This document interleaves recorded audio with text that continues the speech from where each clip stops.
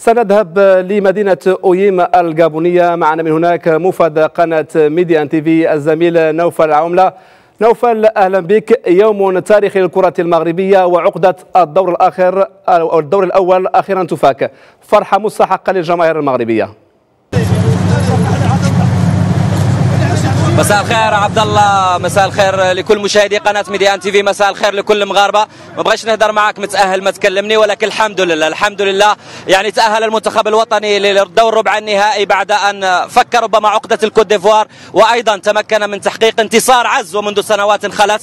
الحمد لله فرحة الجماهير المغربية وهم من خلفي لحد الساعة في استاد أويام. انتظروا المنتخب الوطني حتى غادر وقدموا له التحية وقدم له الشكر وقدموا له العرفان. اللهم لك الحمد انتصار تحقق بعد طول انتظار تأهل تحقق أيضا بعد أن مررنا بنكبات ونكسات ربما قهرت الجماهير المغربية. الكل فرح وسعيد حتى اللاعبين. هيرفي رونار قال انتقد ربما بعض الأشياء التي قيلت في حقه في حق المنتخب الوطني ولكن اليوم أثبت بأن للثعلب دهاء كبير وبأن الفيل لن يتجرأ على الأسد وبحمد الله المنتخب الوطني تأهل بانتظار تعرف على الخصم في الدور المقبل سواء غانا أو حتى المنتخب المصري. في سؤالي للاعبين مبارك بوصوفه الأحمدي الجميع يقول نحن لا نهتم للخصم بالعكس الشهية تأتي مع الأكل وبحمد الله تمكنا من تحقيق نتيجة إيجابية وأحدثنا قطيعة مع الإخفاقات وقطيعة مع كل الفشل الذي مر به المنتخب الوطني وتمكنا من إنصاف أجيال عديده في عالم الساحرة المستديرة الوطنية. واليوم التأهل للدور ربع النهائي. سنفكر بكل مباراة على حدة. إذا تجاوزنا بإذن الله الخصم في الدور المقبل غدا سنتعرف على الخصم.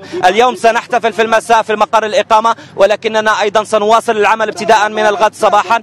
الحمد لله الجماهير المغربية على قلتها وإن كانت الجماهير الايفواريه أكثر من ناحية العدد. ولكننا كنا الحمد لله بصوت رجل واحد من خلف الأسود من أجل تحقيق نتيجة إيجابية. وهذا ما تحقق. وأبان هيرفي رونار ربما أن ما حدث في مباراة الكونغو ما هي إلا كبوة أسد وزأر الأسد من جديد أمام الطوغو ومن ثم جدد الموعد أمام فيلة الكوت ديفوار المنتخب الذي بان بوجه شاحب ربما خلال هذه البطولة. ولما لا أستقي معك عبد الله بعض آراء الجماهير المغربية الحاضرة معي. سبع بلا إحنا آه شوف تنتمناو ندوزو إن شاء الله ثاني نصف النهاية ونمشيو حتى النهاية. اليوم السبع غلب الفيل وكانوا مزيان شوف اللي غادي يمشيو للفيلر إن شاء الله وغادي يجيبوا الكاس للمغرب. غادي يجيبوا الكاس للمغرب.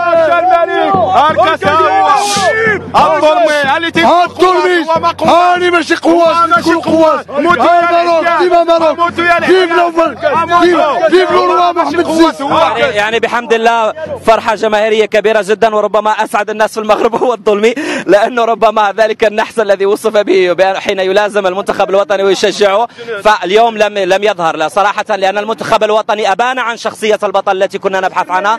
وبالفعل الحمد لله أن تقهر الكوت ديفوار بطل أفريقيا بعناصره القوية في كل البطولات العتيدة وإن كانت الكوت ديفوار كما قال دوسويي تبني منتخبا جديدا ولكن على العموم الحمد لله المغاربة يطمحون بهذا الكأس يحلمون بهذا الكأس وبإذن الله بإذن الله بهذا الجيل سنحدث قطيعه مع الإخفاقات التي لازمت الكرة الوطنية وبإذن الله بإذن الله بالعمل الجاد وأيضا بالرفع من الروح المعنوية فليعلم الجمهور المغربي صراحة بأن هؤلاء اللاعبين الموجودين حاليا يتابعون كل صغيرة وكبيرة. واليوم يعني سايس وجه رسالة لأهله وقال لهم أنا فخور بنفسي أتمنى أن تكونوا فخورين بي فالحمد لله هذه المشاعر الجياشة الراجل مات له جده وبقى مع المنتخب الوطني. يتمتعون بالروح الوطنية فنتمنى من الجماهير المغربية الدعم والمؤازرة والمساندة وحتى الجماهير التي لديها الاستطاعة لكي تحضر إلى الجابون فلتأتي وتساند في بور جونتي لنكون في العدة والعدد.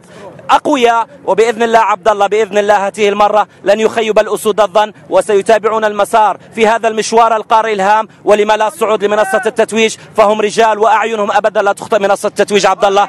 والآن نترك لك الكلمة في الاستوديو. أكيد فرحة هنا في أيام وفرحة في كل مكان في المملكة.